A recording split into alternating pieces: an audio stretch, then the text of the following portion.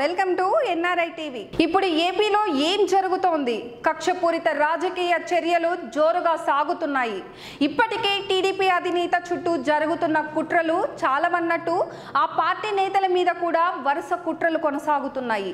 ఇక రీసెంట్గా విశాఖకు చెందిన టీడీపీ మాజీ ఎమ్మెల్యే ఫీలా గోవింద్ భవనాన్ని అధికారులు కక్షగా కూల్చేయటం ఇప్పుడు రాష్ట్ర వ్యాప్తంగా సంచలనం అవుతోంది టీడీపీ మాజీ ఎమ్మెల్యే పీలా గోవింద్ ఇప్పుడు ఉంటున్న భవనాన్ని అక్రమంగా నిర్మించారని జీవీఎంసీ అధికారులు దగ్గర నుండి కూల్చివేశారు. విశాఖలోని ద్వారకా నగర్ మెయిన్ రోడ్డులో పీలా గోవింద్ బహుళ అంతస్తుల భవనం నిర్మించుకున్నారు.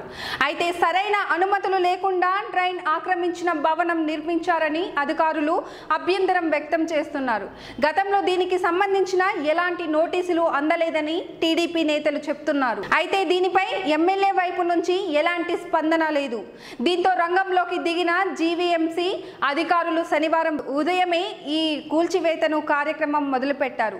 ఈ కూల్చివేతలో ద్వారకానగర్లో ఉధృత ఉధృతత నెలకొంది. ఈ సందర్భంగా ఎలాంటి గొడవలు జరగకుండా భారీగా పోలీసులు మోహరించారు. గత కొన్ని రోజులుగా రాష్ట్రంలోని అన్ని ప్రాంతాలలో అక్రమ నిర్మాణాలపై దృష్టి సాధించిన సర్కార్ కూల్చివేత జోరు చేసింది.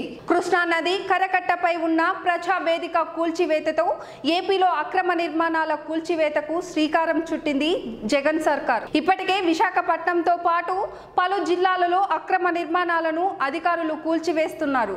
అయితే కూల్చే ప్రతి నిర్మాణం టీడీపీ నేతలదే కావడం ఇక్కడి చర్చలకు తావు ఇస్తుంది. మరి ఈ విషయంలో మీ అభిప్రాయాలను కామెంట్స్ రూపంలో తెలియచేయండి. ఈ వీడియో గనుక మీకు నచ్చినట్లయితే మా ఛానల్ని లైక్ చేయండి షేర్ చేయండి సబ్స్క్రైబ్ చేయడం మాత్రం మర్చిపోకండి.